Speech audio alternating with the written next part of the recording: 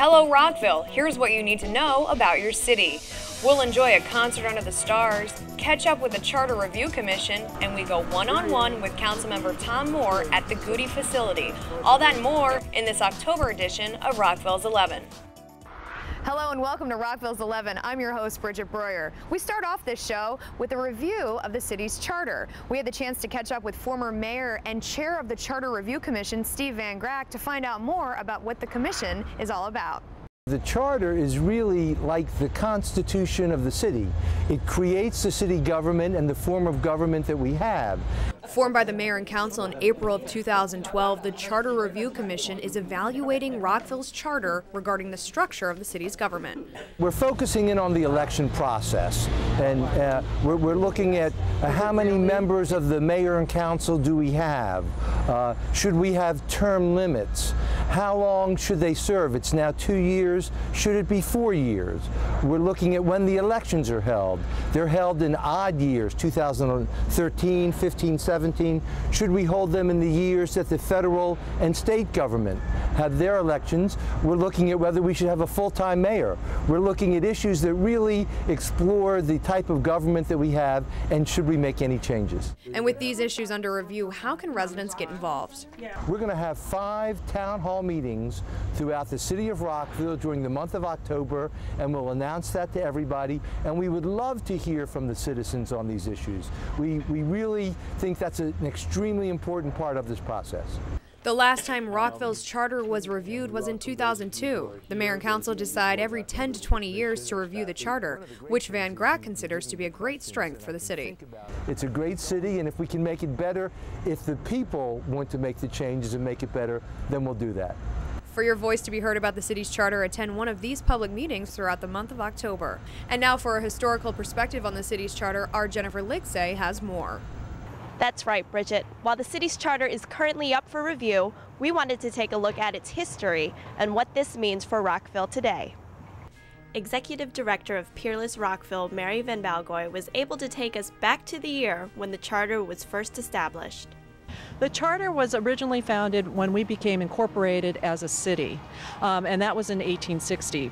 Before this, in 1776, Rockville was considered a county seat. During this time, any issues citizens wanted to change had to be authorized by the Maryland State Assembly and Montgomery County Commissioners. In 1860, the citizens of Rockville got together and they petitioned the legislature to become a city. And by that, that created our charter telling us the town limits, for example, also set up the structure of government, and that we could pass um, ordinances and laws as long as they were not contrary to state laws. And as the charter holds a great deal of history for the city, why is this important for residents today?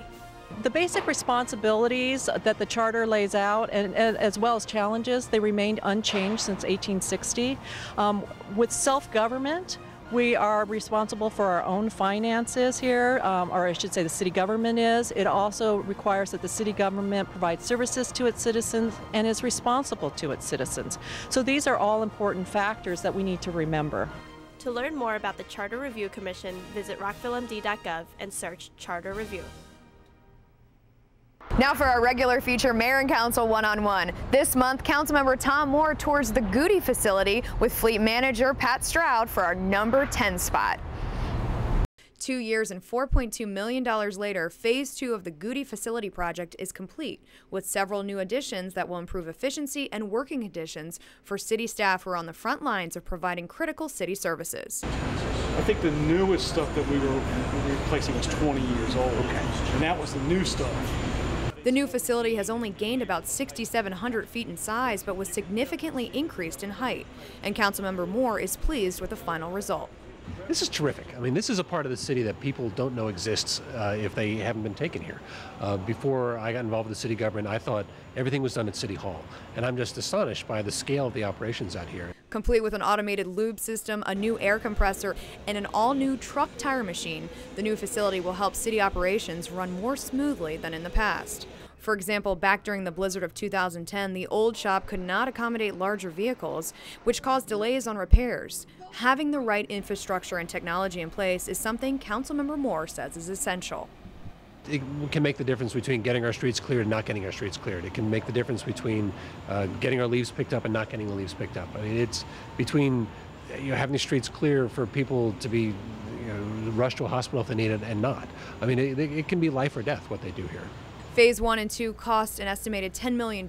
So who paid for the renovations? Know, we did a little bit out of operating budget, but most of it was bonds. And this is exactly the kind of thing that we should use bonds for in, in building things. This is going to last us a good long time. This is a, a solid city facility. It's an absolutely essential part of what the city uses to do get its job done and this is this is what bonds are for. With more than half of the city's employees working at the Gude facility, Tom Moore had only one thing to say. Everything kind of physical that the city does is done here, and it's uh, it's so important to what the city does. And I just want to thank you.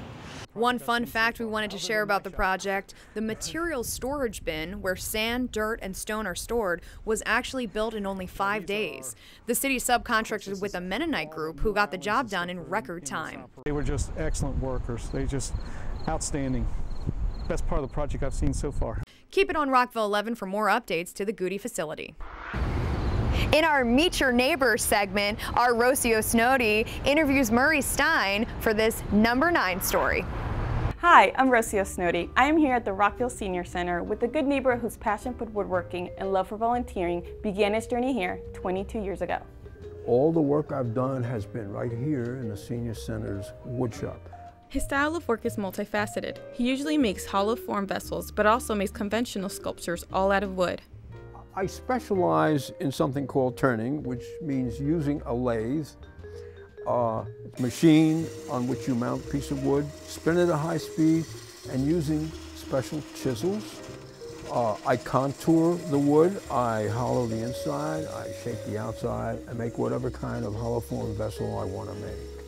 In 1998, Mr. Stein was awarded the first Path of Achievement Award in the Arts and Humanities, which designated him a living treasure in the state of Maryland. It's a passion for me. Uh, it gives me an outlet and, and an outlet for my creative desires from making things that look like they're impossible to make. His love for woodworking and volunteering is another reason he is one of the city's good neighbors. I don't sell anything. Uh, I have a core collection which gets me into museums, but a lot of the things that I've made, uh, I give away to organizations of my choice. I have given many things to the Senior Center. It's a wonderful place. I show my appreciation by giving back.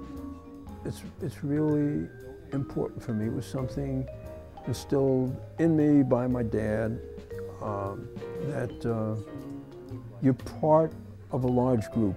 People need people. They're not. They shouldn't be loners. They. By giving back, the rewards are so great. It, it's hard to describe. Seniors have so much knowledge and so much skill. Uh, why take them with them when they leave the big party here? Why not share some of that with, with others? If you know someone who is a special neighbor and would like to highlight their story, or if you would like more information about our Good Neighbor Award program, log on to rockvillemd.gov. For Rockville 11, I'm Rocio Snody. The Rockville Senior Commission recently sponsored an event called Concert Under the Stars. We had the chance to attend, and here's the recap in our number eight spot. Well, the Rockville Senior Commission had this idea um, to have an outdoor concert underneath the stars. So it is the first time we've done this, and we'll probably do many more and some other fun things. It kind of goes along with our new expansion that we've done to the Senior Center. It's just all the new things that we're doing around the center. It's the first senior outdoor concert, and this is something that we want to see more of in Rockville. Is this kind of um, just enjoyment of where we live and our wonderful Rockville band, and just getting together. So it's it's a great night. I was especially looking forward to this band concert tonight. It's terrific that they're here. They are from Rockville, and uh, I imagine the neighbors can hear them too. And it's great. There may be some people getting up to dance in a little bit, and I'm going to watch that. I brought my camera. and I think it's an important time for us to, to focus on our patriotism and, and making our country stronger. And I think it, it was a good opportunity for the seniors to be here together. This. And this whole event could not be, could never take place without the cooperation of the whole city. Many different agencies were involved and they were so supportive that it was uh, just a pleasure. And, but we've learned a lot and so next year all those people remember we're coming back. Every year, the city has a chance to say thank you to its many volunteers. We had the chance to cover the recent Volunteer Appreciation Party for our number seven story. Well, we're here tonight to uh, join our voices and say thank you to all our wonderful volunteers. Rockville is so fortunate to have so many people, our citizens, who really do get involved and want to help out, and they serve on boards and commissions and all kinds of things. So we're here to say thank you. Well, so much of the work done in Rockville is done by volunteers, volunteers on boards and commissions, and volunteers throughout the city. And it's so important to recognize them and, and have at least this event each year um, for all the for all of them to get together. It's it's a great night. It's important to me because if I live in a community, I want to be involved with my community and do what I can just to participate and to make the better world for tomorrow for the people come after me. To say I think it's a wonderful opportunity, not only to thank the people who do what they do for us, for right out of their hearts essentially. It's their free time and they give it up to the city. And of course, it's our chance to celebrate the staff as well. It really works very hard to make this a wonderful city. You know, 365 days a year, we have Rockville citizens participating in every bit of the Rockville city life and city government. And this is the one day a year that we can say thank you. And it, it means a lot to every citizen in this city that we get so much help from so many people. And most of them are here tonight.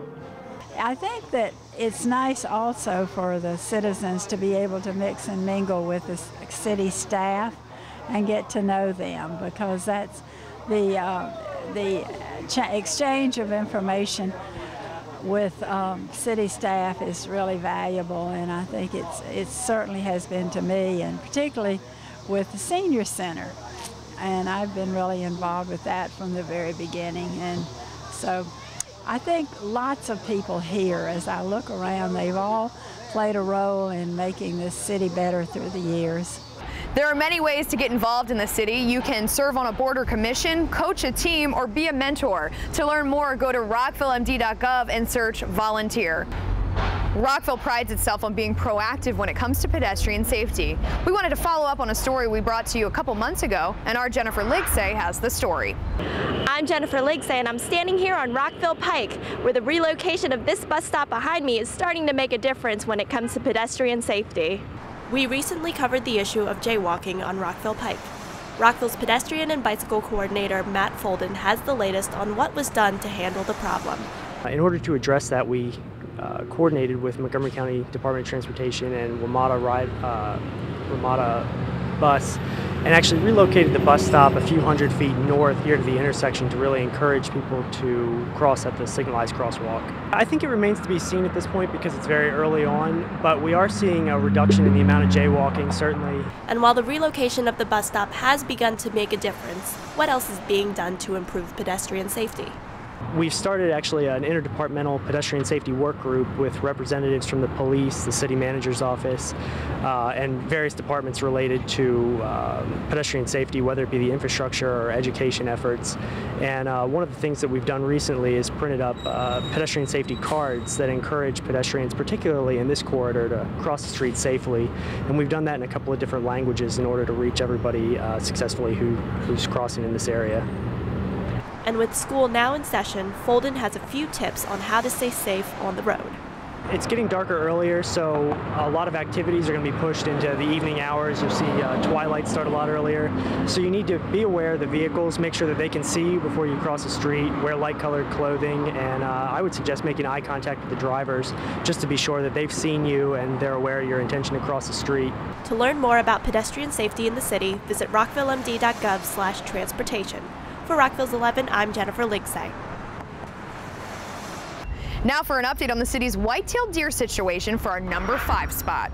As part of the recommendations from the city's White-tailed Deer Task Force, Rockville is moving forward with implementing a camera survey to study the deer population.